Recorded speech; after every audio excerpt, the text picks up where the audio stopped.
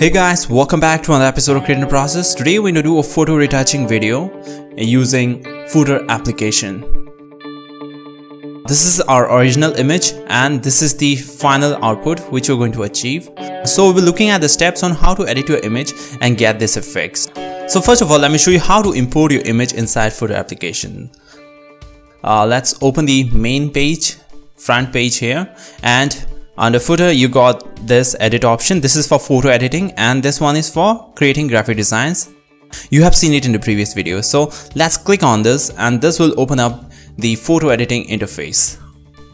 Here first thing you can do is to import your image. So import your image through here and uh, select the image and open it. And here you got your image on the work area. Now let's start with the editing process. So first of all the image is little dark so let's give it a little brightness. So using the exposure let's increase the exposure.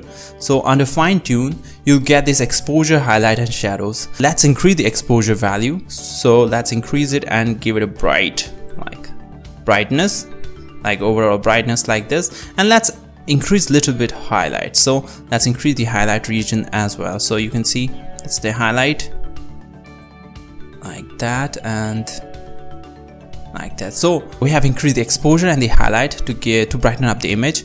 This was our original image. It was very dark and this is what what we get after applying the exposure and the highlights. Let's adjust a little bit of shadow. If you decrease it you can see the details get a little darker here under the hair region. So let's give a little darkness like that. After that we got all these options here. Here you can do basic adjustments like Uh, brightness, contrast, saturation, all the options you get on other softwares and it's really easy to use. Here you also get a curve adjustment layer and this is very nice. We'll use this for the finishing part. Next after this let's go to effect and let's choose some color effect or some theme color for our image. So here we got a list of themes for your image. Let's try out a few of them. Like let's go to cinematic and let's apply this we can apply. Let's choose this one awaken so we got this effect. We don't need this. Let's look something different. Let's see the classic ones. Let's try it out. Okay nice. Oh, yeah this is also good. Okay but uh, we need something different. Let's go to vintage. Here we can see a little bit of like faded colors so we don't need that. Let's go under refreshing let's see. And if you click okay. Here you can adjust the intensity as well. If you like it you can keep it in the mid and you get a nice like blend between the brightness and our original image. But we don't need this for now. We have this as well as well as the black and whites. So there are a list of options which you can apply to your photos without doing further adjustments. There are lots more but we'll be looking something different for this image. We have we want to achieve this kind of effect so let's go around and let's choose a different color. Cool let's go to cool. And let's select this one. You can see it's giving a nice effect. Our original image was like this and it has added some overall color tone like yellowish tone to the image and it's looking really nice. Let's adjust the intensity here. Let's mix it and let's apply it. So we got this image. Under cool we have used the first options here to give that effect. Now let's look at other options that's here which you can use it if you are looking for different type of image here. Let's give a little bit of tilt shift. So I'll go to tilt shift and this will give a nice depth of field here. Let's rotate the angle and I'll just place it around here. Let's decrease the size here and let's give sharpness to the face and over there let's give blur. Let's reduce the blur intensity here. Let's adjust the intensity and if you check it out you can see we got a nice sharpness on the face and over here like a depth of field. Let's apply it I think it's nice. If you check out our previous image like without blur and with blur. So it has given a nice depth of field to the image.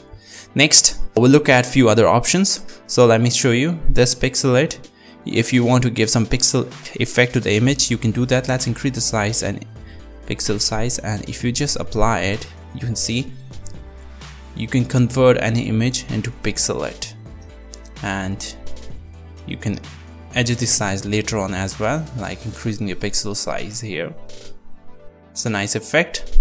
Next we got film grain here. You can add grains to the image like let's increase the intensity and see you can change the grain effect to boxes to dotted it gives nice effect to our image as well. It's looking like it's on the cardboard and it has been printed on a cardboard page. So nice effect. You can try it out. Next we have some lens flare here. So we can just try out some lens flare. Like you can adjust the lens flare here. Let's choose different one like this one. Let's see. Okay I think this color is nice. Adjust the intensity and the size as well. Let's place it around here. In the background and increase the size. Okay let's apply it here. I think it's giving a little depth here also as well like the light is coming from the background as well. So after that let's look at other options.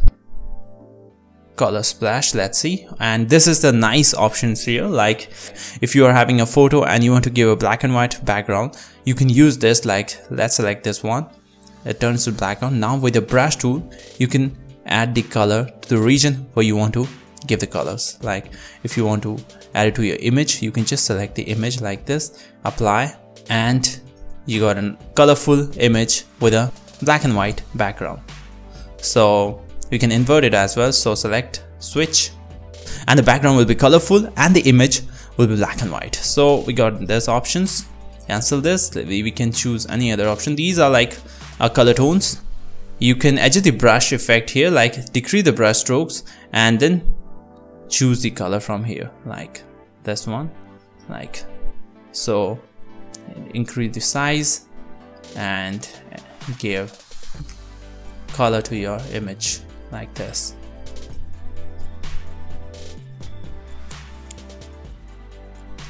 You can adjust the intensity as well how much intensity you want to give. So first of all let's using the brush tool just apply the color. And while going to the edges let's reduce the size and do it properly. So this way you can edit any image. Like for example if you here look at this options this under this image you can see the flower is colorful and the rest of the image is black and white. So you can give these kinds of effect to your photograph or your image like that. So we got all list of options here.